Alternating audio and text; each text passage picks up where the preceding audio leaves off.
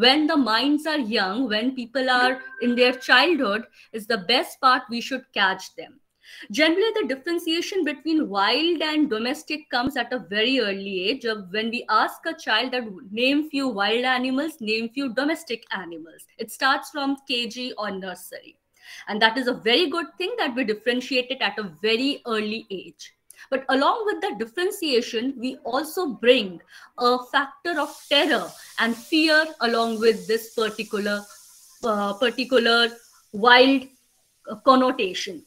शेर है बहुत डरावना है माई गुडनेस इट वो खा जाएगा it is very ferocious it is very जंगली it is bad which is you know always even in the jungle book story sher khan has been connoted in a very negative way or in a negative uh, negative connotation.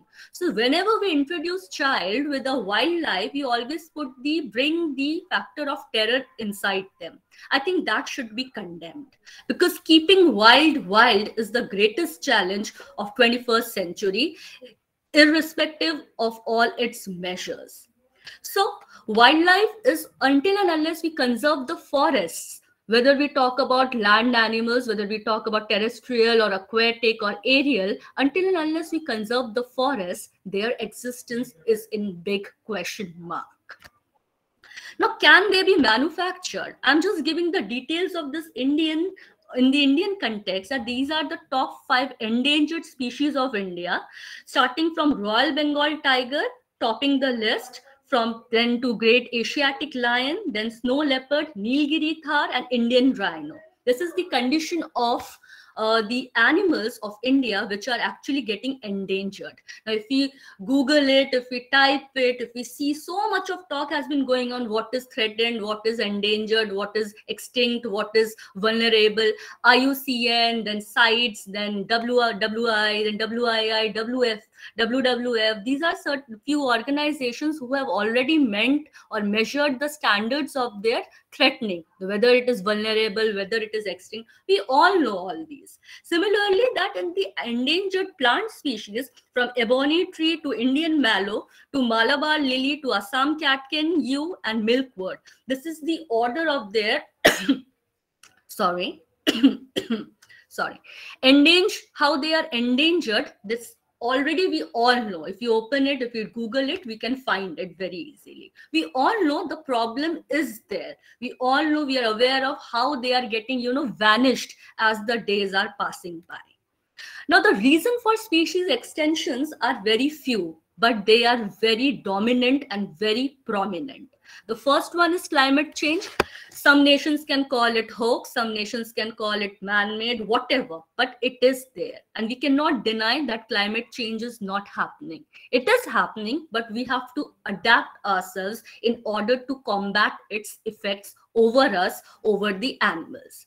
Second is the habitat loss it starts with habitat fragmentation. Now, there was a beautiful cartoon once I read somewhere down when I was in school that a group of lice, they were sitting on a head of a man. And that man was actually having, um, facing hair loss problem as the day was passing by, the lice family started getting worried that, oh my God, this man is actually losing the hair. Now it is the habitat fragmentation for us. And finally, the man became bald and the lice family died because it was a habitat loss. It was on a very lighter mode, but the message was very deep. It all starts with fragmentation, whether terrestrial, whether aquatic, but habitat loss actually leads to species extinction. No doubt, pollution is the third very important factor, whether air, water, land, whatever, in whichever means we are talking about, they always have a very strong impact over the extinction or existence of any species. Fourth, fourth one is the disease. Whenever there is any disease, it can wipe out the entire genera or species of particular animal or plants, which is irreparable to the nature. Poaching and hunting killing this is again a very serious issue. We may have we may have many forest rangers we may have many uh, what do you call the laws and legal actions but poaching is happening especially for the leather and the leather products and as well as the ivory. Elephant is are being mostly poached for the ivory factor. We cannot deny it. There are materials there are items which are being sold in the market having animals or their contents in their products. So we cannot deny it, you know, there is no poaching, nothing. It is one of the threats to the species existence. Next one is invasive species. This is very interesting. I'll give you an example of Clarias. Clarias is a fish. It is an edible fish. Now, it has two kinds of species, basically. One is Clarias batrachus, which is the Indian species. Another is Clarias gariepinus. It is the African species. Clarias batrachus, that is the Indian species, is a very nice species, very calm, very, it can grow anywhere. Like it generally grows, thrives in the fresh water. It's a very nice, very calm animal. But its counterpart, African species, that is Clarias gariepinus, was introduced to the Indian waters illegally. I think more than 50 years back. It was in around 70s or something around 60s. Now that African species is a prolific breeder and a voracious feeder. The moment it entered into the Indian waters, it has actually wiped out Clarias batrachus if you go to the fish market, Clarias batrachus is some 300 or 400 rupees ki, uh, kilo. Why? Because it is very rare to found. Whereas if you see the African species Clarias but uh, gariepinus, it is some 30 to 40 rupees per kilo. So you can see how invasive it is, how it has destroyed a local flora, fauna of India. So this is one of the biggest threats for the Indian waters. And lastly is the over exploitations in the name of fish or when we in the name of fishery or something like that, we sometimes actually over exploit our oceans, which results into the depletion or sometimes the extinctions of a species. Similarly, one more example I'll give that monkey menace, wherever Sare or Bandar, everywhere, if you see the NCR, Faridabad, Delhi, Ghaziabad, the monkey menace is a big menace. But the question comes, where shall they go? There are no forests. All city forest has been urbanized into concrete jungles where all builders are taking it, taking the all the land and they are constructing certain some kinds of uh, architectural uh, marvels. But there are nothing for these animals to eat. And in the name of plantation, we are only planting your uh, ashoka trees which is your poly um, uh, ashoka trees and other like palm trees or other trees which are actually non fruit bearing. So if had it been your mangoes had it been jamun had it been any other fruits like figs and all these animals could have actually survived themselves over those over those fruits. But now when we have the polyalthia species uh, ashoka or when we have palm trees what will they eat? Now here they are actually deprived of their home. They are actually deprived of the food so that's the reason they are creating menace. They are jumping from one terrace to another, entering into human settlements, and we are actually blaming them. But they are not to be blamed. They have no space to go anywhere. So this is a real one of the examples of the habitat conservation, lack of habitat conservation. So a species in the coming years, a species can be really wiped out very soon.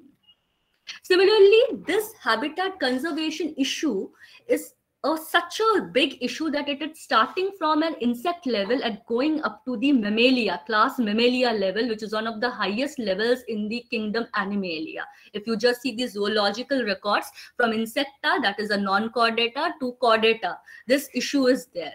Like for example bees. We all know that bees are one of the best friends a man can have because 80% of the crops are pollinated by bees.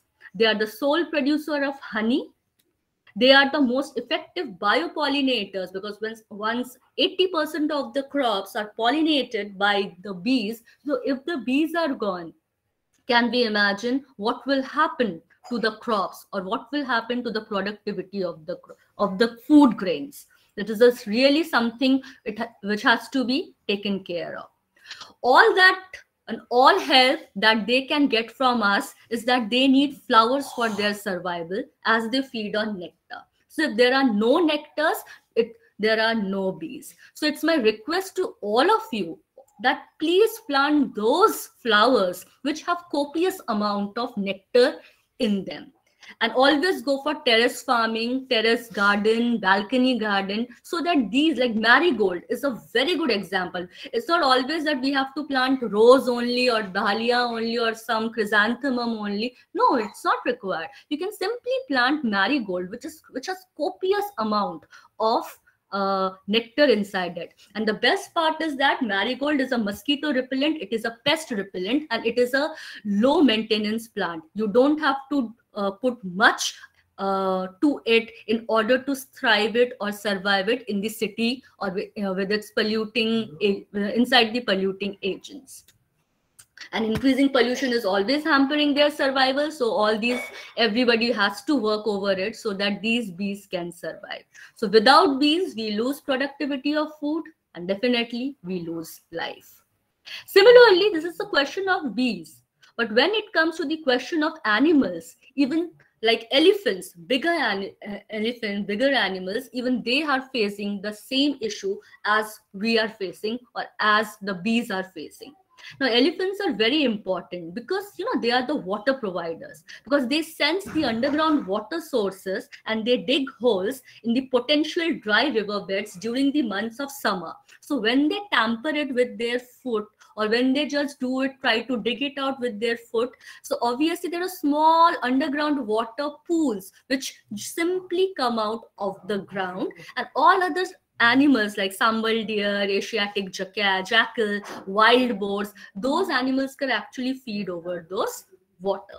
Similarly, they are the keystone species because they are also important as seed dispersers. Whatever they eat, they actually help in germination of that seed inside their alimentary canal. And when that seed passes through their alimentary canal and is being are being pooped out through the excreta. They actually come out of their dormancy and a new plants and a new jungle and new life actually thrive inside a big forest. Similarly, they are also the habitat providers because their dung is composed of the seeds and nutrients just now as we have discussed and they are the regeneration of vegetation and they actually alter the forest ecosystem because they actually prepare the forest trails. When we can see the elephants are moving, they always move in a trail. The youngest one, then the first the youngest one, then a bit mature one, then the eldest one, then there are fighters and there are guards, and they have a complete colony like the bees. So similarly, their dung is composed of seeds and nutrients, which actually help in the regeneration of the vegetation. Then there are also the ecotourism promoters. हाथी देखने चलते हैं सो anywhere any national park or sanctuary which has elephants it all it has always fascinated people to just go and have a look and have a ride so in that case actually it increases the tourism or ecotourism perspective from that point of view similarly they can sense the indicator species because they can communicate over a long distance using their low pitch sounds and can feel the ground and seismic signals during the feet with the help of their feet and trunks. You know during tsunami most of the elephants they could actually uh, they could actually feel the vibrations of that tsunami incoming tsunami. So they most of them fled to the mountains or at the higher altitudes when actually uh, thailand was hit by tsunami. So they can actually they actually have a very strong you know that hearing aids. They have such speciality so they can actually go beyond their limits. So if we don't conserve them unfortunately habitat loss poaching human elephant conflict irresponsible tourism and illegal trade are the excuses to exploit them. Many of us generally go for hathi pi savari karte hai let's go and sit on elephant but that elephant is being chained. Now i'll give a small quotation over there. When once a baby elephant is being caught it is chained with iron. But when the elephant grows it is chained. It is not chained. It is only roped but still the elephant never moves out or never escapes. The reason is that when it was a baby it was chained with iron. It tried thousand times million times it could not free itself. So it subconsciously this message was set in its in his mind or her mind. So when it grew simply the exploiters tied him with the rope and now the elephant will not escape because the elephant never ever tries to escape because it is subconsciously it is there in its mind that मैंने हजार बार कोशिश की थी when I was a child I couldn't escape अब कोशिश करने का क्या फायदा this happens to humans as well we are being trained we are being somewhere down you know put into our mind in our young mind that you can't do it once that is being put you can easily manipulate anybody even and exploit anybody when they grow young. Please break that shackle. Please come out of it. We all have immense power inside us. We all are genius in our own ways.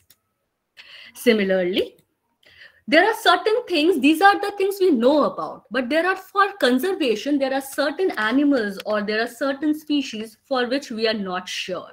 Like for moths generally a negative connotation is attached to moth very dangerous they are very dangerous no they are not very bad omen oh moths are there even you can you can see in horror movies they're associated good things are associated with butterflies and bad things are associated with moths it's not like that it is as smart as any other organism on this planet. It is a nocturnal pollinator. For Nocturnal means night. They always, the flowers which bloom in the night, they need pollinators and moths are one of the best pollinators during night. Similarly, they, they can sustain an entire ecosystem. Like if they are the food for bats, for reptiles, for birds, so they can sustain it. Similarly, the whole silk industry, silk moth, silk cocoon, we all know silk comes from moth. So they can actually, up, they are upholding the complete silk industry. They are indicating the climate change. If the climate is not good, definitely their population, species and everything, it is decreasing. There, are, these are the certain indicators. There are very good journals over it, which we can always refer. And similarly, like application of sonar, which is a generally a very high-fi formula, but hmm. they do it in order to protect themselves from the bats. Bats also locate them through echolocating mechanism. They also they can deflect that sonar and they can escape them. So they are as smart, they are, they are as intelligent as any other organism on this planet. Now we have talked about enough problems. Let's seek some solutions that sitting in my urban landscape or sitting in the urban settlement, how can I help or how can we all help to make the conservation really work? Now, government has enough plans. Now, when we talk about legislature, our Indian government has already issued Wildlife Protection Act of 1972. It started in the British era in British India in 1919. and there were there were several amendments, and finally in 1972 the six schedules came out. First and two are for the endangered species with absolute protection, under which the lion, tiger, and so many others are come. We can always find them on the Google. There's a whole list, the whole list can come out no hunting is permitted no trading is permitted and if caught doing anything the penalty is highest including some legal actions. Then schedule third and fourth they are not endangered species basically and the penalty is also moderate. The fifth one is the animals which can be hunted like mice like uh, your um, rats. These are which are creating menace in the what you call for in the not forests in the croplands and also they can be easily hunted down so. And the last one is the plants that are forbidden to be cultivated. For example sandalwood just because i want to use sandal oil or i want to use a sandal cosmetics i cannot grow sandal on my terrace over my terrace. This is actually the government can take action against that person. And anybody who is doing so is punishable under such acts Similarly, pitcher plant, it cannot be cultivated in anybody's field. It is something which needs to be grown in wild, it needs to be protected. So these are certain schedules which have always been taken up. Then conservation strategies government has already used in situ conservation like national park, wildlife sanctuaries, biodiversity reserves. In situ means keeping the animal in its own native place and then protecting. Now, national park is for a wild sanctuary, like wildlife sanctuary is pertaining to a particular animal like your Manas sanctuary, where you can we can see the uh, Manas is in Assam, where we can have the um, rhinoceros which are being protected by the legal actions or by the legal authorities, biodiversity reserves and the national parks. And ex situ is means like gene banks. We can take their DNA, we can take their sperm, their ova. There can be they can be protected. Cryopreservation. They are preserved at a very low temperature, and then later on they can be used for fertilization and all other things then there are seed banks now if now when i talk about seed bank if you have never visited navdanya navdanya is in dehradun uttarakhand it is an organization an area one must visit like we know only there are two types of rajma when we talk about talk to a city child uh, even if you, if you ask me i will say yes jammu rajma and chitra rajma but do you know that India has more than 100 plus Rajma varieties. If you want to see that, and if you want to see the different types of rice, I think 400 plus rice varieties, some 250 plus uh, wheat varieties, please go and visit Navdanya. It has been started by Dr. Vandana Shiva, which is a very prominent speaker against biopiracy please go take your children go yourself visit the place i have i myself have i had seen the plant or the tree of sindoor vermilion the vermilion which use is a chemical. That there are actually the trees of vermilion there are actually the trees of camphor. We know kapoor means beta jao bazaar se lekar those packet one no they are not camphors. They're chemicals. Actual there are trees of camphors. Kapoor ke ped hote hain but we don't know it. So gene bank seed bank we should actually go. And botanical gardens zoological parks are always places to relish. We can always go and see you know you can experience a different level of trance over there. Similarly on the 75th of this year it was the 75th years of independence of india. So tiger was the key animal. Why? Because it has almost 18 states had 51 tiger reserves and earlier lion used to be the national animal but now uh, tiger replaced it in 1972 because uh, naturally uh, lion is being found in only one state, that is Gujarat, Gir National Park. And we can see there are some 51 tiger reserves throughout different states from Andhra Pradesh to Pradesh to Kerala to Karnataka to Maharashtra to Madhya Pradesh and so many, so many states are actually boasting it. So government is doing their part in the conservation. It's not like that they are not being conserved. How efficient or how the how what is their efficacy? That is a big question. But it is working. Project Alisa Paul sorry yes. to interrupt you in between but we are having lack of time. So can you uh, please... yes yes I'll just yeah I'll just flip yeah. it. very soon. Okay. Similarly for human versus wild we can see the zonal railways that the ministry has started many other things like for elephants also we cannot we have to take measures that we have to sensitize train and crew station masters and everything have been taken place. Some wetlands have also come out. That government is doing their part. New wetlands have come come in. So these are the certain parts we should do. Similarly, some international days have been observed by the government in order to create more awareness among the people so that we can protect them. Now, whenever the ecology versus economy comes, it is always the economy which wins, but we have to make eco ecology the winner first of all what can i do at my personal level? So it is the power of index finger. Make it a habit whenever we come out of a of a room switch off all the electronic gadgets which are not in use.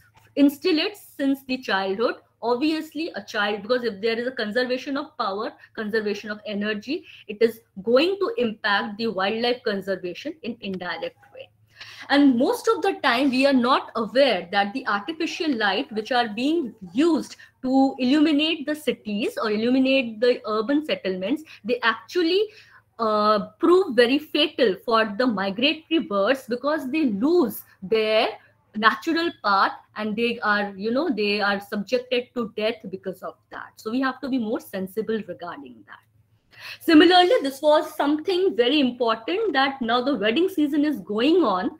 What can we do at the level of the level of conservation? Like instead of using any kind of electronic uh, uh, what do you call uh, the paper uh, invitation we can use the cloth printed on a cloth invitation which can be later used in uh, wrapping the chapatis and all. Similarly always go for the local plants local veggies local flowers rather over the exotic ones rather than going for mangoes in the season of winter go for the fruits which are already growing in the winters. And this can be not only applied to the wedding it can be applied to any parties like birthday parties anything like that. And Dia Mirza actually had this kind of wedding for her. So if she can do it, why can't we? Then similarly, using the water bottles, those mineral water bottles, glass water bottles can be used. And upcycling of clothes are very important. Rather than buying a new set of clothes every time, we can always support a local weaver to buy something. And we can always help in people you know sharing their things and the eco-friendly silk has come like which is actually come out from the when the moth are not being killed the insect comes out of their cocoon and then that cocoon has been used to take out the silk and to wear it. We have to just bring it to our lifestyle nothing else. Similarly choosing a uh, e-gift cards or in without wrappers or anything like that is actually will actually help in saving the environment a lot and cutlery is again a very rather than using those use and throw cutlery, always go for the sustainable cutleries like choose glass, wood, paper, steel, and edible cutlery is always in fashion so that we can have minimum carbon footprints. Similarly, if we are follow any one of these, that means we are an eco traveler. It is not possible for everybody to follow all these for a single trip, but at least one one particular trick or one particular idea for one trip. We need to go paperless whenever the boarding passes are there. So much of paper will be saved. Similarly, if we try to have can travel by local transport or trains, so amount of fuel used by this aeroplane can be definitely reduced. Similarly, use your own toiletries rather than use, using from others. It actually creates less bio waste then snacks and all if we rather than buying it and throwing the packets we can make it from our home and we can reuse it again and again. And try to carry your tumbler wherever it is possible. When we went to italy for our conference along with our another research lead dr simpi singh we actually carried our tumbler rather than buying the plastic bottles here and there. We followed at least one i'll say and do you travel light? Means every time we travel sometimes we carry too many too many clothes but we don't use it. So let's understand how it can be made energy efficient Similarly, I'll give you a species point of view. I can simply have a kitchen garden, already I talked about. I can educate people. I can switch off the artificial light when not in use. And I can include simple host plants in my home in order to protect a species or moths to survive in the city. Choose responsible ecotourism, create less carbon footprints, create awareness for lesser known species, adopt eco-friendly lifestyle. Why? Because conservation is not a fashion. Just because I wear a particular t-shirt of a brand or something, I'm not a nature lover. It's not. It is the need of the hour. We all have to bring these changes inside us. And finally, we if we say that nothing is going on and it cannot help and it cannot work it's actually a bogus idea. Why? Because Wangari Maathai was the first african woman who got nobel peace prize for changing the world. Kenya was at the verge of deforestation but her idea of planting trees deep se deep jalao so tree se tree lagao she had this idea and that actually changed kenya for the green belt movement. And if we see say that uh, no i'm too old to do anything or too young to do anything see age is just a number. Like in japan there is a there is a village okinawa where people complete their century and they are productive till their last breath. And the example is there like where there is a will there is a way. Like all the padma awardees for the agro and wildlife conservation are the women who have crossed uh, you know milestone of age in their life. There's Rahibai Soma Popere, who is also called Bij Mata, Tulsi Gowda, a living encyclopedia, and Papalammam Rangammal. She is actually doing incredibly in you know conserving the nature around her. So when they can do it why can't we do it? So thank you so much for having me for this particular conservation wildlife conservation day. I really uh, expect that our ideas have actually will bring some changes into all of us lives i think now you all must be waiting for our other eminent speakers we have a panel of very good speakers so please over to Dr. Aanchal Garg and thank you all of you for this particular, for inviting me. Thank you so much. Yeah, thank you so much, Dr. Monalisa Paul. As uh, she beautifully mentioned in her uh, last slide that uh, कुछ अच्छा करने के लिए कोई as barrier नहीं होता है at any as हम कुछ भी अच्छा कर सकते हैं we can conserve the wildlife we can protect our biodiversity so जैसे बहुत सारे लोगों ने किया है ऐसे ही हम लोग भी कर सकते हैं and whatever post doctor Monalisa Paul has shared in her presentation these all posts uh, you can have a look at our various social media pages facebook twitter linkedin instagram and we are very soon coming up with our website also most probably uh, in the coming week. So you can get more information about our organization from there.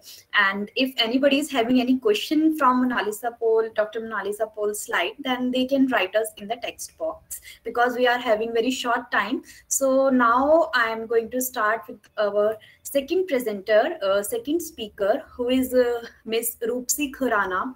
She is senior research fellow in iisc bangalore. And uh, she uh, she is uh, the media science communicator as well as as a freelance media science communicator. She has worked on various uh, wildlife and biodiversity species which also include uh, the genomics of uh, asiatic elephants. And so may i welcome ms roopsi khurana for her presentation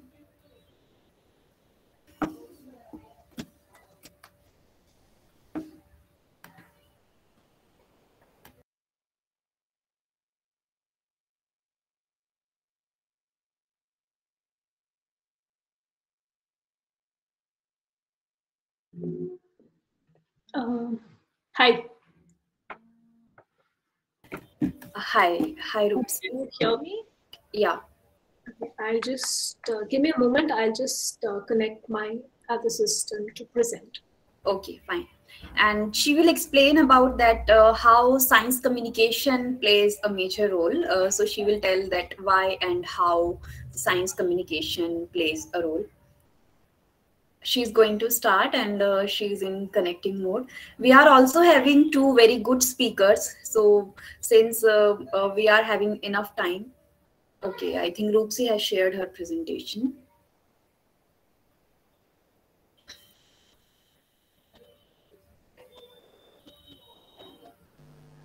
Oh. hi can you hear me all of you? Yes. Okay cool so, hi, uh, as Aanchal has already introduced me, uh, I am Roopsi and I uh, work at uh, Indian Institute of Science. I'm a senior research fellow, but I'm also a freelance multimedia science communicator, and that is why we are going to talk about science communication today and why and how of science communication. Uh, but uh, before I start, I would all I would want all of you to look at this image and quickly type in the chat box. What do you think when you look at uh, this image? Your first thought. Uh, what's happening here? Uh, I think the wildlife is in danger uh, by human activities. Exactly, and uh, Ankush says fragmentation. Anybody else? Okay. So, yeah, as uh, Aanchal has put it, and as uh, Ankush says, uh, it's about fragmentation, human occupied. Uh, People also animal, said no wildlife yeah. corridor, No human wildlife has corridor. occupied animals. Yes, So exactly. So, the point that this image is trying to make is that you don't actually sometimes needs word to con- words to convey what you're trying to say, right?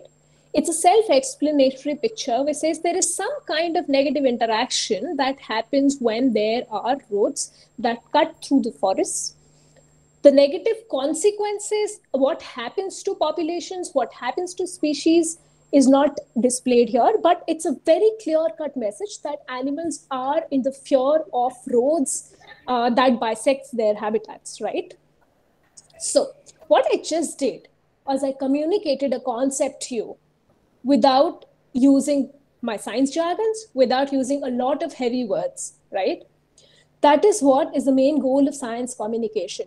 And irrespective, you do wildlife sciences or you do molecular biology, whatever you do, the most important point is that you share your scientific knowledge and research. But how do you do that? And why do you want to do that? If you've casually even had conversations with people, you will know that, you know, there are uh, issues like climate change. Many people don't even believe in uh, that climate change exists. Like what Mona Lisa Paul just said, that, you know, there are people, there are countries who say, you know, climate change isn't real. The, the people who believe that uh, vaccines don't work, if really roads and connectivity, uh, you know, eh, uh, roads uh, affect wildlife connectivity, if genetically modified or foods are healthy or not. Where did COVID come from? Where did influenza come from? But to make it more relatable to you, give me let me give, let me let me give this example to you. Irrespective, you go to Bandhavgarh Tiger Reserve or you go to Gir National Park, and if you don't see these two animals on the way back, you tell, "Yaar, safari mein sher nahi dikha." The simple concept, a simple word that exists for tiger and an Asiatic lion most of the people are not even aware of that. We know that tiger is called bag in Hindi, and then we called uh, we call uh, Asiatic lion a sher, and then there is another terminology that's called babbar sher, right? But that's not found in India because it is referred for it's it's a, it's a terminology for African lion, right? And that is why that is why you need to communicate science it is an the important goal of communicating science is to take complex uh, aspects difficult topics and make them easier to understand. And you know you, you what do you do through that? You attempt to break those barriers between a researcher a scientist and take it out to people. And that is what EnviroVigyan is doing right? That's what we all are here for. If i just keep throwing heavy words at you, most of the people who might not even be from a science background, might be MBAs or BComs, they won't understand what I am saying, right? So, Professor Jane from Oregon State University says we must engage more vigorously with society, but we cannot do it from lofty perches above the society. We must be more integrated. To compile that and give you just, he's trying to say that you know you need to be part of the society to explain to them what your science is or what science concepts are in general. Just let's let's just say you know example of wildlife conservation. Most of the people don't understand how wildlife conservation works. It's not because they are not aware of it. It's because we as scientists we are in our own bubble and it is very difficult for us to go out talk to people and explain them what this is right? Now how do you do it right? We know that we need to do it. How do you do it?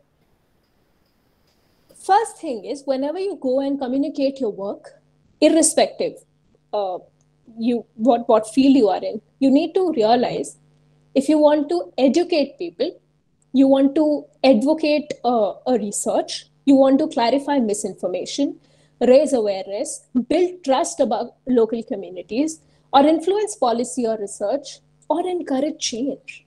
You know, if you look at these examples, you need to communicate to public. You need to make them understand. You know, something like uh, what is a protected area? What what is the difference between an endangered species, a critically endangered species, uh, you know, a vulnerable species? People don't know it. We as scientists know it. People don't understand it then you go to policymakers, you go to politicians. They are not trained in science, or they're not, even if they're trained in science, they might not be trained in wildlife conservation.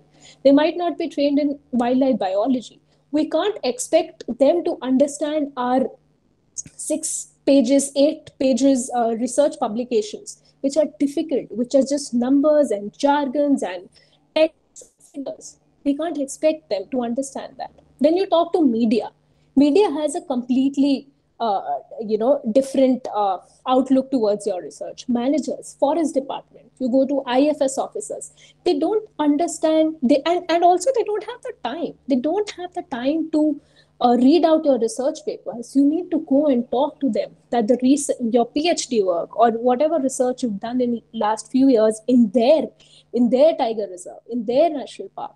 This is the outcome of it. And you know they, this is the gap this is the gap when it comes to influencing policy or you know bringing change in your environmental laws or bringing change in your wildlife conservation laws. Because we as researchers are, have the habit of keeping things to ourselves and you know not being able to explain it to other uh, parts of the society other stakeholders of that society so that they can understand it and bring that kind of change right how many of you have seen this movie Sherni uh, quick uh, chat box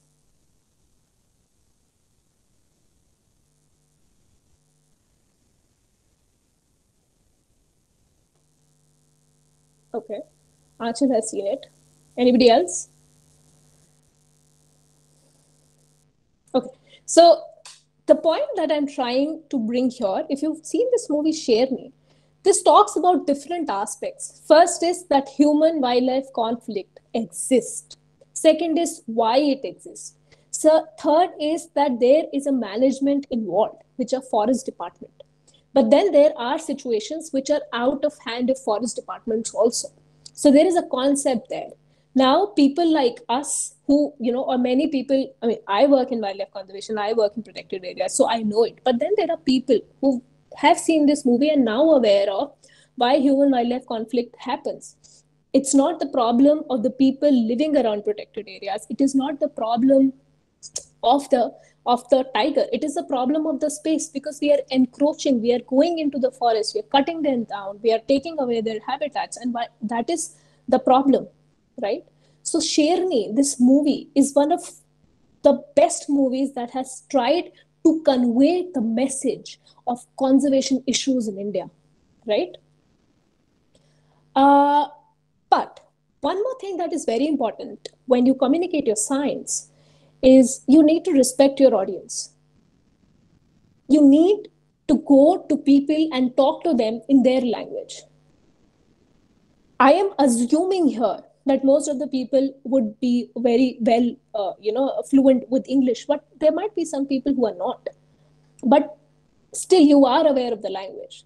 But imagine you're going to uh, villages surrounding protected areas and trying to tell them that, you know, there's an elephant herd that moves around at night, or there's a tiger that has been moving around at night. And what could be the problems? How could they protect themselves? Think you go and talk to them in an English language which is completely alien to them. It's not going to help. It is not going to help you put your message across, right? So you need to know what your what the language of your audience is and then again jargon like i said you go there you talk to uh, villagers or irrespective forget about villagers even if you go to your you know you go to your adjacent lab yeah or you go to your uh, people who who do not have interest in wildlife biology and tell them you know these are my graphs this this is say that species is declining this space this says that you know habitat uh, encroachment is happening. Show them whatever graphs you want to show use heavy words it's not going to put your message across.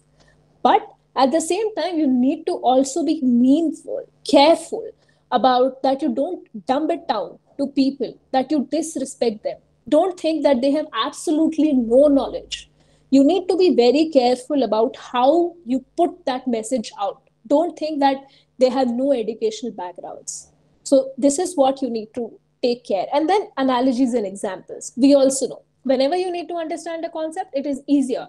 You go uh, and you know look for some examples. So that helps you, uh, you know, uh, remember it. So that is very important. And the most important thing is when you go out converse with people, irrespective it these are lab mates, your your uh, flatmates, even in your own family. If you're trying to make them understand about issues in wildlife conservation, you need to also accept that different people are of different age. They have different cultural background different educational background different genders perceive different things in different ways. So you need to accept it that this exists. You can't just go and tell them you know you you shouldn't be confronting them it's not going to help. It's not going to put across your message. They are only going to not talk to you from the next time right? Which is not the point. The point is that you go tell them a concept try to explain it with whatever their basics is. Accept that and then move forward. Uh, then now that we've talked about that we can actually uh, do science communication how can you do it? So there are different ways. There's visual you can have art uh, work you have illustrations you have videos you have posters.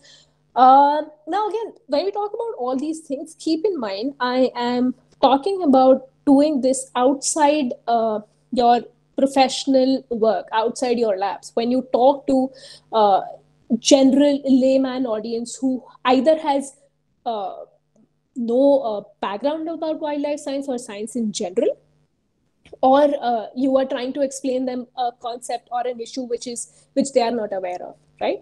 So you can have your blogs, you can write columns in newspapers, feature articles in various web-based web-based platforms. You can have books. Uh, I, am not sure, but there are many books that have been written by non-scientists converting science for uh, for uh, uh you know general audience. Uh, there, there, are authors like Steven Pinker, Carl Zimmer. I'm sure you must have uh, you know read about them. Ed Yong. These people and even even for Indian authors, we have Prerna Singh Bindra, we have Neha Sinha. These people, what have they done? They've taken the science and they're producing it to you. They're producing it to common man so that they can, uh, you know, understand about wildlife. They can feel more connected, you know, to, to nature, to to conservation issues, to to animals, right? Then you have podcasts and you have public talks. There's an excellent podcast uh, that you can find on Spotify uh, which is called uh, uh, All Things Wildlife. It's a very nice one. You can listen to that. And then there's social media. Um, there's there's uh, twitter instagram and you know we have this habit. It, social media is something that is really important these days. What do you do? Uh, you need to understand the concept. What is the first thing you do? You google it right? You you you uh, try to search it on a youtube. Why? Because you know there might be a video that will explain you the concept well right? And you can do that too. You can produce such videos that you know entertains and you know talks to people in their language in easier language so that it's easy for them to understand and grasp the problems that are associated or a concept in general it doesn't always have to be wildlife issues it can just be you know connecting to nature connecting to wildlife pinterest for illustrations and then documentaries we all know there's so many documentaries available. But the most important thing is as a researcher, what we do first, we do a background study. Then we have our details about what studies have already been done, what are their results, what are the conclusions, what is my take home message, right? But when you go to the public, you flip it. Now, you first take your take home message, the bottom line of your message, put it on the top. This is what I'm going to talk to you about. If ask yourself a question of what what you're going to talk about, and if, if you if you can't put that question in 10 words, that means you need to simplify it further down. Yeah. And then so what? You know, when you to, when you when you go out for public engagement, you need to also realize that why does it matter if a tiger dies or even the whole population collapses what happens if you know elephant uh, population is decreasing it doesn't matter to them till the time you tell them that how the ecosystem collapsing is one of the reasons that infectious diseases are now more prevalent as compared to you know previous uh, decades. That's what. So when you tell them that it affects them only then you can have their attention. Only then you can pass on your message. And then supporting details about the facts and the research that has been done. So basically, putting out your graphs and charts and whatever should be your last thing. First thing is that why and what. Yeah. And then where can you do it? You can do it anywhere. You can do it on your campus events. You can do uh, it, citizen science. There's so many citizen science projects that are happening. Be a part of it or make people aware. Tell them that they can be a part of it. Everyday interactions, even at your home. Forget about uh, you know your lab and quality home. Most of uh, I, assume, I assume that you know they we we in family different people are from different educational backgrounds cultural backgrounds. They don't uh, understand all the concepts. So that could be a first step of you know uh, spreading awareness about whatever issues you want to in science. Lab visits. You you don't even have to go to other colleges. Just go to your adjacent lab tell them this is what you're going to do.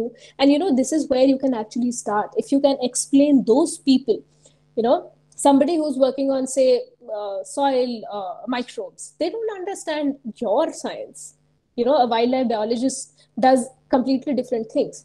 So try to explain it to them. If you can't explain it to even them who are already scientists that means you need to even break it even more when you go out you know for public engagement.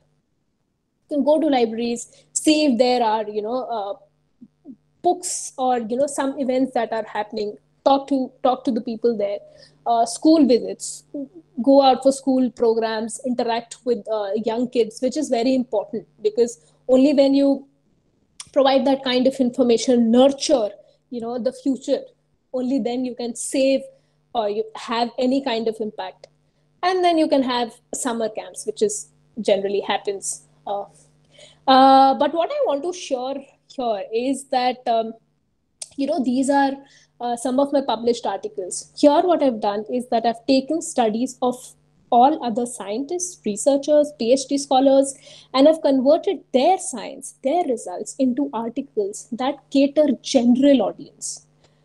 Right? I've written in Mongabay, I've written in India Bioscience, The Life of Science, Research Matters, all these web-based platforms, they help you to understand or communicate your science for general audience, right? But there's a very important thing here to understand. Uh, something like Mongabay. You know, Mongabay is an, a platform which actually caters people only who have interest or has some basic understanding of wildlife and environment. So when I wrote in that uh, platform, I did not have to uh, explain what a protected area is or what a national park is, tiger reserve is. Same with India Bioscience. But when I had to write for research matters, I had to even explain what a protected area is. And trust me, I could not do it. It was the most uh, difficult part of explaining what a protected area is in a line or two. Because as a scientist, I have that ingrained in me. Right? So these are the places where even you can write if you want to talk about other people's science and if you're interested if you're interested in writing you can actually pitch to these places. Yeah. And this is some of my artic- uh, sorry artwork that i have published. Now if you see the elephant one uh, that's on on the left uh, i wrote that article about two scientists two female scientists who have worked on uh, big mammals on elephants and have described their research. Though i also work on elephants but to describe their research was something that was very important right? And then these two are other artworks that i did for ccmb hyderabad and then cover page of uh, another newsletter. So uh, this is uh, where i think i should wrap up. Uh, angela are we already on time yeah, thank you so much, uh, Roopsi, for uh, such an inspiring talk and I think wonderful. Uh, wow, what a thank good you. presentation given by her. And I hope with her presentation, uh, our youngsters, scientists, academicians, all the kind of diverse group is able to understand that why there is a need of science communication how can we communicate our not only the wildlife even other things also in the terms of science language. So i think she explained it simply and beautifully. And if anybody is having any question they can write on chat box since we are really having very limited time. And, and you. Can drop me an email if you have questions. My email yeah. is right there and my twitter and instagram. Yeah. You can uh, ask the question on email as well as uh, we will share her details and now we are going with uh, our third presenter who is uh, mr rohit kumar paldodia and uh, he is uh, basically project associate in department of forest for wildlife conservation and in government of delhi and rohit paldodia sir over to you so good afternoon, everyone. Thank you very much uh, for the heartwarming uh, introduction. And uh, I hope everyone has uh, is enjoying the wonderful webinar. And especially I'm thankful for inviting me to and giving me this opportunity and the platform uh, so that I can share my experience and the uh, expertise with all of you. So starting with my presentation. There we go. Okay.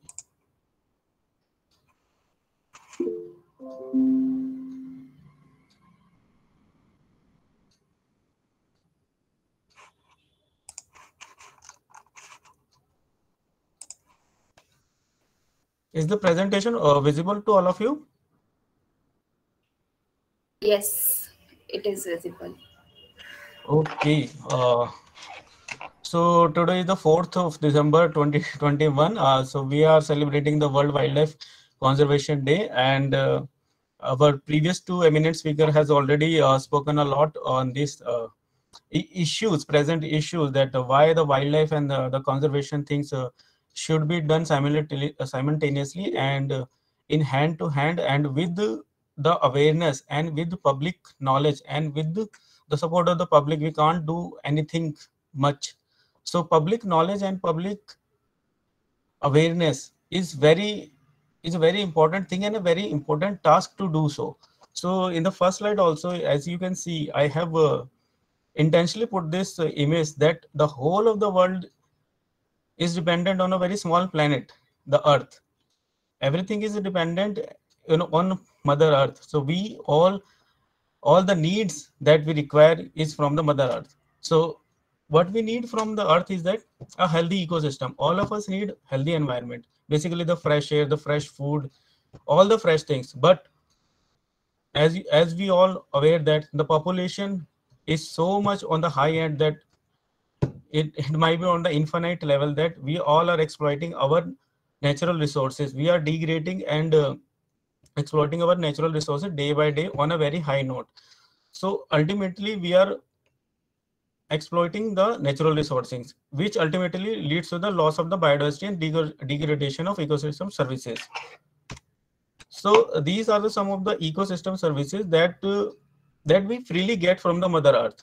We never thought that uh, these in the future we will be uh, we will be paying for these services like the fresh air. So in the in, as you all aware that in the last uh, wave 2 of the covid uh, what was the situation for the oxygen? So like present in delhi also for the last one month we are suffering from a very very heavy uh, air pollution. And till date uh, even even my even at my desktop the aqi is more than 500 so we can't predict anything that because it it is the result of our own thing that we have exploited our natural resources so badly. So what are the causes of the degradation and the biodiversity loss that uh, ultimately has uh, uh, provided us this platform? So basically uh, we all need fresh air fresh oxygen fresh food but all of these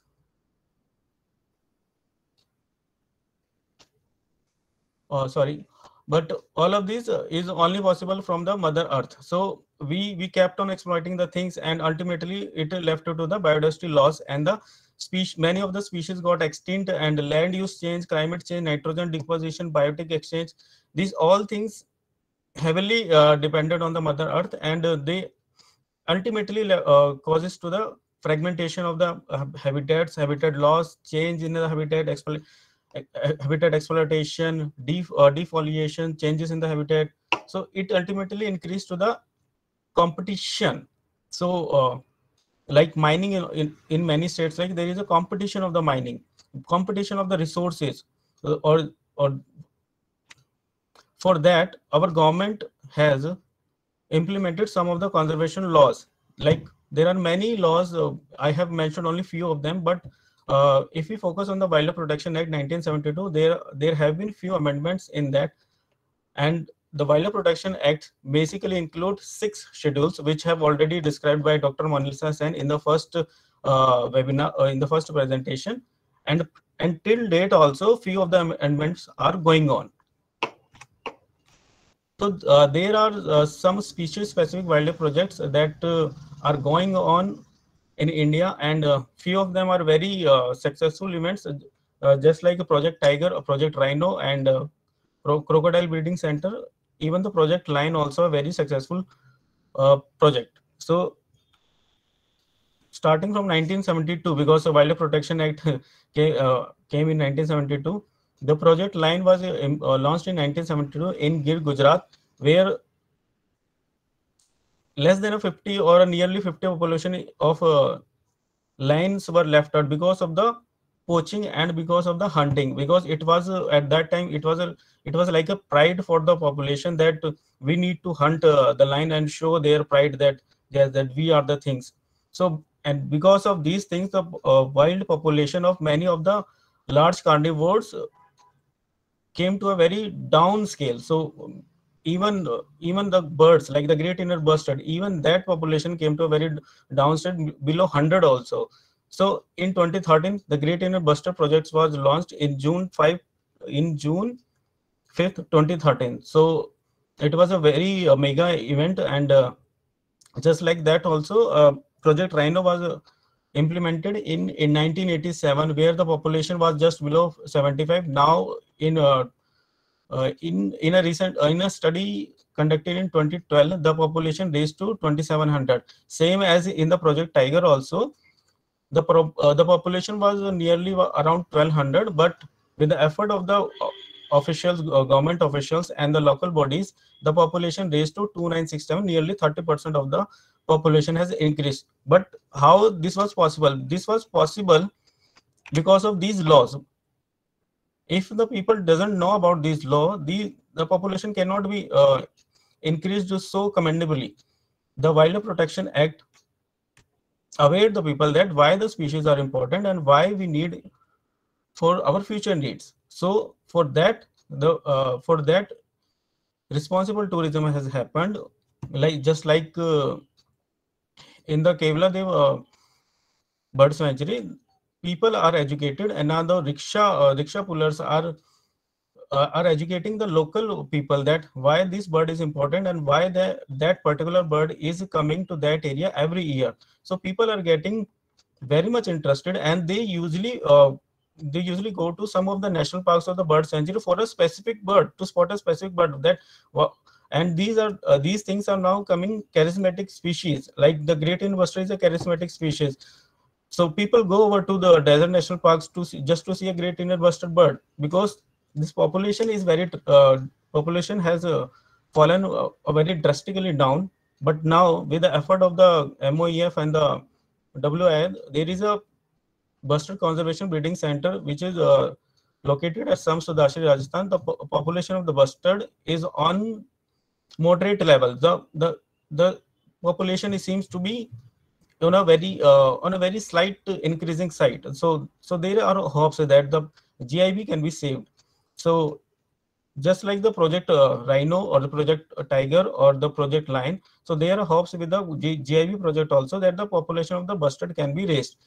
Project elephant it was starting in the 1992 and for that for that awareness program also so a gaj yatra was a uh, gaj yatra was also sponsored by the state governments to aware people about that why the elephant is important and why we need to conserve it but the population of the elephant is uh, uh, sometimes uh, it sometimes gets increased and sometimes gets down because of this human wildlife conflict because elephant uh, they uh, they have a very large territory so their population gets uh, fluctuated throughout the year. So even the snow leopard project, it was started very recently, just a decade ago in 20, uh, 20, uh, 20 uh, 2009. And the snow leopard conservation breeding program is undertaken at Padmaja Naidu Himalayan to aware the people why the snow leopard is uh, is important and why their habitat conservation is important to because it acts as the apex predator thing over there so it's not about the carnivore the state governments are doing many things for the state uh, birds also that for that they have uh, they have demarcated or uh, presented some birds to the uh, to the states that these are the state birds of that particular area. So i'm sharing this map of the india that that these are the birds of the states. So uh, these are the uh, documents you can uh, guide on uh, that for the wildlife protection act or the, or the wildlife crime or the indian forest act. So they can be very helpful for you to in detail study the what is wildlife protection act and uh, why the wildlife protection has uh, wildlife protection act has included six schedules or why uh, this crime can also be uh, controlled and what kind of uh, crimes are also included. For example the elephant tusk or the rhino horns. So people used to um, earlier times people used to make ivories or the or the uh, or the jewelries from the tusk so there are a hell lot of things uh, that uh, trade happens in the wildlife so i'm so i'm i'm I will like to finish with this because I'm having another session. So I hope you enjoyed. If you have any question, please uh, write to EnviroVigyan. I will uh, re respond to this as quickly as possible.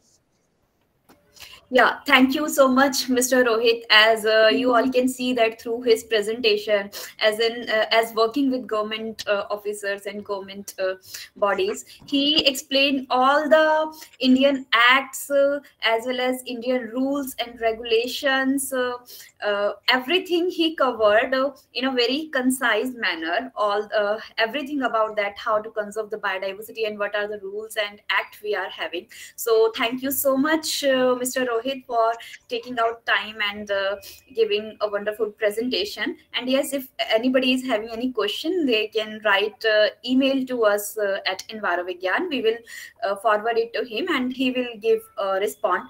And since uh, he is about to leave because he's yeah. having another presentation as well. I, am very sorry about this because I'm, uh, I'm having yeah. another session that that is a field session. So yeah. I have to go over there. Yeah, yeah. It's so, a session. So Mr. Rohit Kumar, just wait for a minute. We are taking a group picture so that you will not be missed from that picture. So okay, we are just okay. taking a group picture and uh, anybody from our technical team, please uh, take a group picture.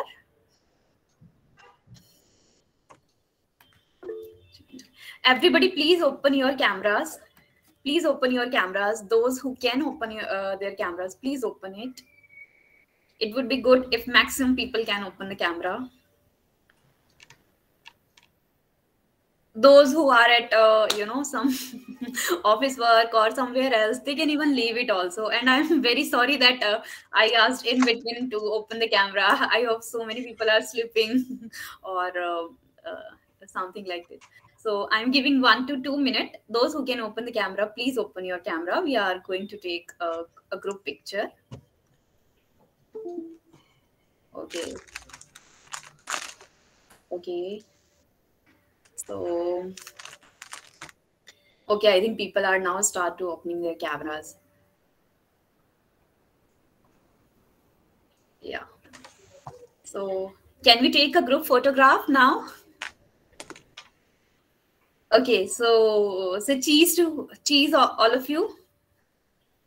Okay. I take the group photograph. I think one, two member of our team also can take the same. Okay. Thank you. Thank you, Mr. Rohit. So now, uh, yeah.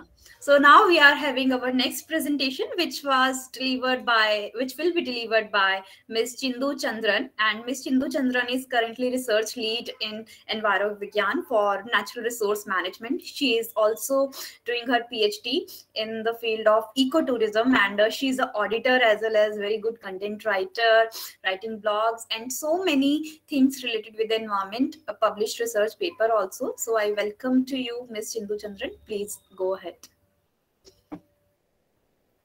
Uh, your voice is not audible. Yeah, yeah.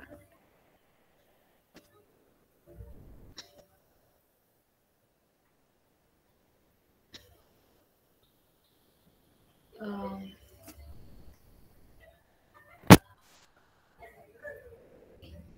Miss Chindu Chandran, you are not audible.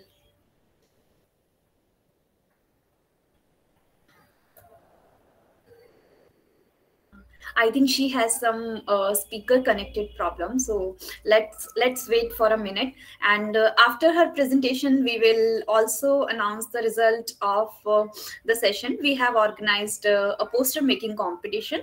So we will uh, share the result after just immediate after her presentation. Yeah, Miss Chindu Chandran. I'm so sorry you are not audible.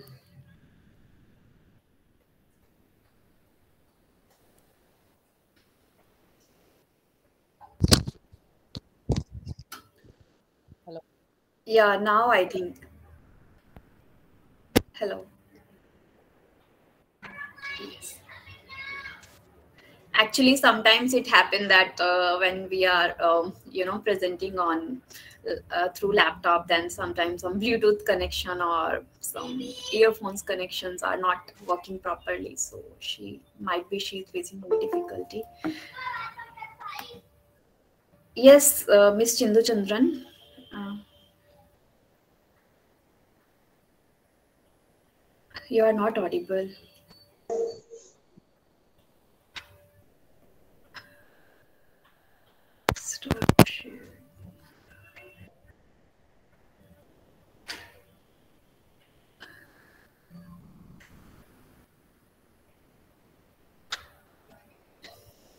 Okay, I think uh, what we can do, uh, we can have a brief uh, question and answer session. If anybody is having any question from Dr. Monalisa Paul or uh, Ms. Roopsi Khurana, they can ask. Anybody in the audience is having any question?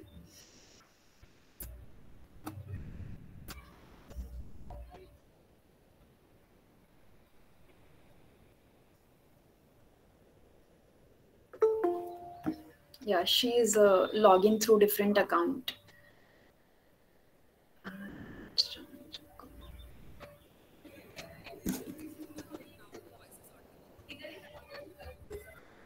Yeah, uh, now your voice is audible, but it's very slow. Can you please uh, increase the sound?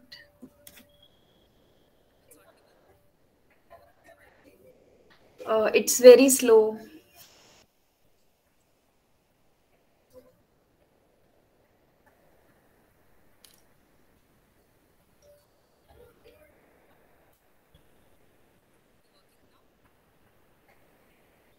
Not audible.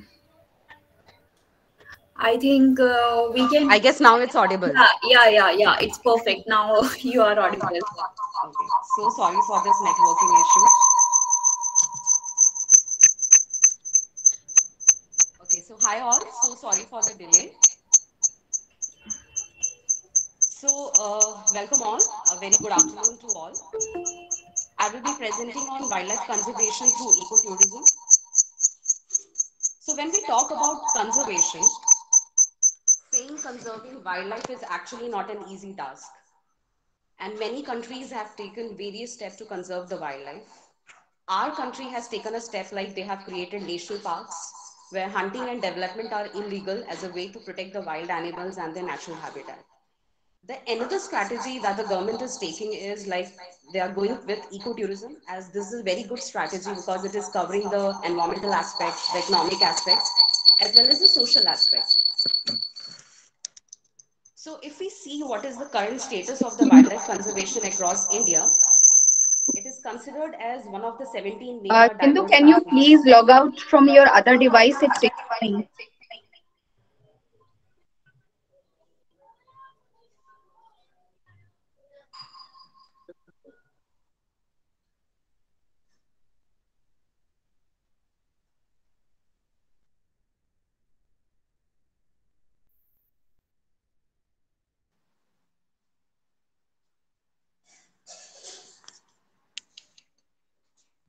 Okay now? Yeah, it's better. It's better. I think what you can do, you just uh, show few uh, slides and uh, uh quickly, I mean.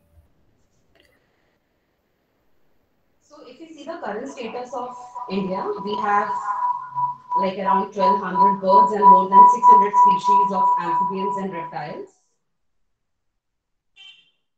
I guess still my voice is echoing.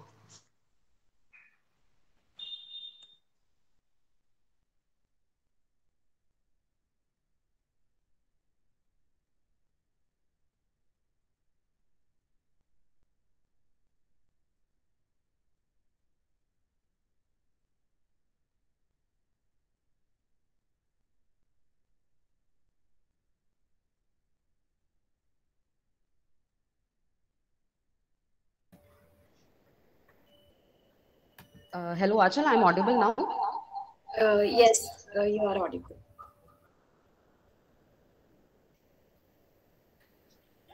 Is echoing now stopped? It's not stopped, but I think you can go uh, or what we can do, we can have your presentation. okay, now it will not be there. Uh, we can we can have your presentation later later. Oh, it's better, Chindu. Yes, yes, yes. yes. I have uh, said it like it had off now. Okay, so now it will not be an issue now. Yeah, now it's perfect. It's perfect. Yeah. yeah. So uh, now considering 600 protected areas divided into these wildlife sanctuaries and national park and the community reserves that we have, these places cover about 5% of the country's total area. Now, when we see that a revenue generation can be given from like wildlife based tourism, our Indian government and the state governments have initiated ecotourism and the wildlife based tourism and they're promoting in a different campaigns and different methods. And it is so successful that 20% of the income we get from is safari based tourism. And tiger reserves like Annamalai and Periyar receive about 6 lakh visitors every year.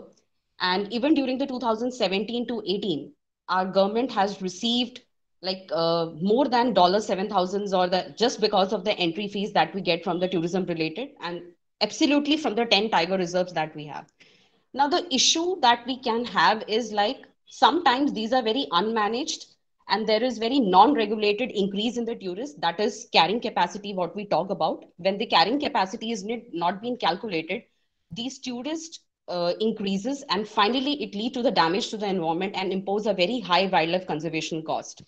Now india has only one ecotourism policy and the guideline which is 1998 for regulating and managing the ecotourism level in india and the National Tiger Conservation Authority in 2012 formulated guidelines for tourism in and around the protected areas. Now, when we talk about ecotourism, the question comes what actually the ecotourism is. So, basically, ecotourism is nothing. It's a form of a responsible travel, or you can say a sustainable form of a travel to the natural areas that conserves the environment, sustains the well being of the local people, and create the knowledge and understanding through interpretation and education of all involved. So that is why I said that ecotourism is a form of strategy that we can adopt for the wildlife conservation because it is covering all the three pillars that is environment, the social, and the economic aspects. Now, if we see what potential ecotourism can give us, now the first thing I said is it limits the carrying capacity. Now we can allow the maximum number of the tourists to be allowed. It raises awareness of the nature, uh, nature conservation Plus, it avoids the industrialization as a source of revenue. The other potential is involving the community, that the local people that they are, we can involve them in the conservation strategy because they are the perfect examples. They know how to conserve their local area. So if we involve them, we can have the better uh, conservation strategies. Educate through interactions with the local and the nature. We can do the eco certification to ensure that the tourists know is the business credible? Is the business credible to the nature? Is it giving back to the nature or not? Plus, it also helps us to learn the balance, the environment with the development, implement the policies conscious of the native species as well as the preservation efforts. Now, these are some of the ecotourism and the wildlife natural uh, opportunities that we have in India. Uh, in India, the best ecotourism destinations that we talk about is Kerala, Karnataka, Assam, Goa, Orissa, Andhra Pradesh, and Rajasthan. And all of the Northeast is a part of the ecotourism destinations. And the various activity that we can enjoy is trekking, observing the wildlife, the bird watching, sea beaches, different navigations, camping inside, observing the nature, so these are the different activities that we can uh, help to the ecotourism. Now, as I told you, how ecotourism can help us in conserving the wildlife. Now, there is a very beautiful case study I want to highlight. Uh, so there is a very uh, Tidong Wildlife Reserve is in Malaysia. Uh, this area was very hit due to the poaching being done by the local people there. It's home to pygmy elephants, orangutans, clouded leopards, and the rare Sumatran rhinoceros. And the villagers around these reserve, they used to hunt within the protected areas for the meat to feed their families. Plus also they used to sell the horn and the tusk that they could extra income in the market. But in 2002, the Bornean Biodiversity and the Ecosystem Conservation Program began. They trained the local people in community management, marketing, and they encouraged the villagers to stop hunting and poaching.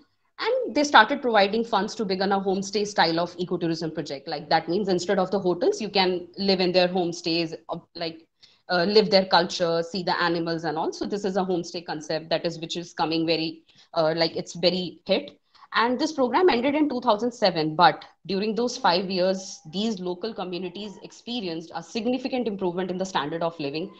They had a very good income generation and thus they finally uh, thought that okay poaching is not a good idea because ultimately we have to conserve it and in return they can get an income through that.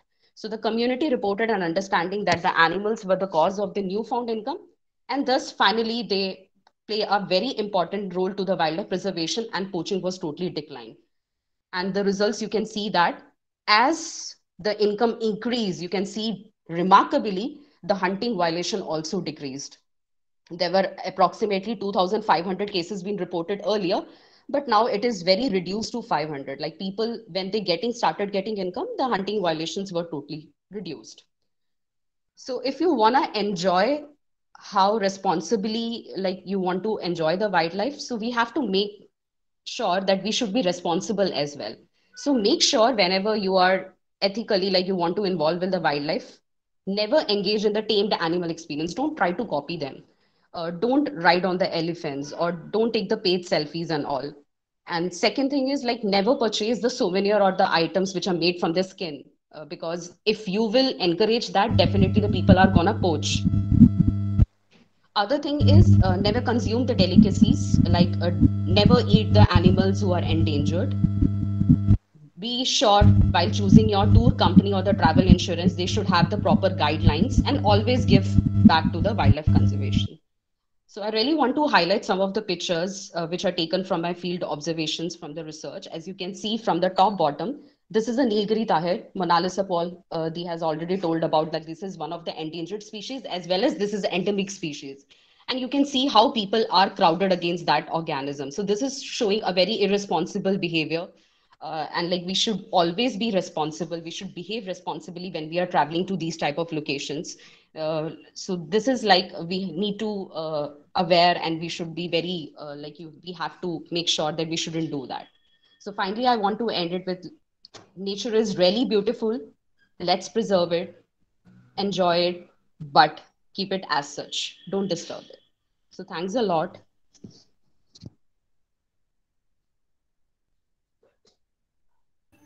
Yeah, uh, thank you so much, uh, Ms. Chindu Chandran. Can you please mute yourself? Yeah, thank you so much for uh, such a nice talk and telling the audience about that how ecotourism play a major role in conserving and protecting our biodiversity, our wildlife. So, uh, indeed, a very short uh, but very informative talk uh, which she has presented so well. So thank you. So now with this we are finishing uh, the presentation by our all the four distinct speakers. And now it's the term for the most awaiting thing for which uh, I, I, hope many of the people are waiting and many of the participants are here also right now. So firstly uh, frankly uh, telling to all of you that uh, we are getting uh, 68 applications for this poster making competition both in the digital as well as uh, in the handmade form and uh, all of the posters was so amazing but we have to make certain decisions. Obviously we have to make uh, and uh, we have select a few names for this. But uh, yes um, every participant and every contribution is uh, respected uh, at Envirovigyan competition. And we are thankful that you people are participating with us. So for announcing the winners, a little girl, Dr. Mon- uh, uh, uh Dr. Preksha Paul, daughter of Dr. Monalisa Paul, she is going to announce the result. And uh, Miss Preksha Paul is from since her since her childhood, she is you know practicing so many sustainable technologies as her mother told to her so she's a little environmentalist also so i'm uh, handing over this uh, opportunity to miss preksha paul preksha welcome to you dear yes. Thank, thank you. you. Thank you. Good evening everyone. My name is preksha paul and i am a student of class 4 today I am going to announce the winners of the poster making competition organized by Envirovigyan on the special occasion of World Wildlife Conservation Day. So, let us begin. The first prize goes to Kumar Arijit Mishra, age 13, from Bhubaneswar. Congratulations. Congratulations. Yes. Thank you. The, He's saying thank you also. He is with us. the second place is shared by two amazing artists. The names are Nirvigna Pitha, age 9, from Tamil Nadu, and Anya Anyesha Mishra, age 14, from Odisha. Congratulations. The third place is also shared by two amazing artists. The names are Swati Kothari, age 18 from Delhi, and Sirvi Kanchan, age 20 from Surat. Congratulations to all the winners. Thank you so much. Yeah yeah congratulations to all the winners and thank you preksha for announcing the winner in such a cute uh, voice. Uh, thank you so much. Thank you for giving me the opportunity. Yeah. Okay so i think uh, now we are uh, almost on the completion of uh, this webinar. So if anybody is having any experience or some suggestion or something like this they can uh, tell us. Now it's open discussion time. Okay so now it's the time for vote of thanks. And for vote of thanks i'm inviting uh, dr priyanka kumari uh, who is currently research lead in uh, our envirovigyan. And uh, she is also visiting faculty and course coordinator at uh, center for disaster management ggs indraprastha Uni uh, university. So dr priyanka kumari over to you ma'am Thank you so much, Anchal. Uh, thank you so much for inviting me or uh, requesting me to say a vote of thanks. So first of all, on the behalf of our uh, whole team, Enviro Vigyan, I would like to express my deep gratitude to all four speakers, Dr. Monalisa Paul, Ms. Roopsi Khurana, Ms. Chindu Chandran, and Mr. Rohit uh, Baldodia for sharing their knowledge, experience, and expertise with all of us. Uh, it gave deep insight into the topics and also revealed some interesting facts. So I'm pretty sure this precious knowledge that all the speakers gave us will definitely help us and encourage all of us in the coming future. I would also like to congratulate all the five winners as well as all the participants who have sent their wonderful work for the poster competition on the World Wildlife Conservation Day. I would also like to thank all the participants or audiences for attending this webinar and being so patient uh, listeners. So last but not the least, to and congratulate Myrovic this webinar. One all of you and have a nice day. Thank you. Yeah, thank you. Thank you. I think uh, her all the lines are clear, but the last line is not clear, in which she mentioned that uh, yes, uh, uh I and uh, we all are very thankful to the entire EnviroVigyan team, uh, eh, from the volunteers, our volunteers to all the research lead. Everybody is doing amazing job. We are creating posts, uh, uh, we are creating research, we educate, we engage, we empower. Everything we have done in this organization. So I hope with this webinar, many of you are learned so much so at least a few of the things i am not telling that so much but yes few of the things you are uh, learning and you are taking away uh, uh, as a message that yes it's the correct time to protect the wildlife to control the pollution to control uh, the climate change. And uh, we have to take all the mitigative uh, initiatives in the form of science also. So we need to include the science also when we are conserving the environmental biodiversity. So with this we are finishing this webinar and our heartiest congratulations congratulations and thank uh, thank you to all the participants uh, and all the winners for attending this webinar.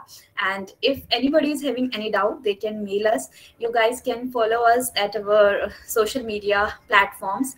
And also one more thing that uh, liking and sharing is secondary, but follow EnviroVigyan for good knowledge. So I'm requesting to all of you to please follow us on our pages and improve your creativity, improve your skills regarding the environmental issues issues and uh, we we are current uh, we are shortly coming with our website uh, and we'll launch uh, within a week uh, so thank you so much. Have a nice day. Goodbye. Bye bye namaskar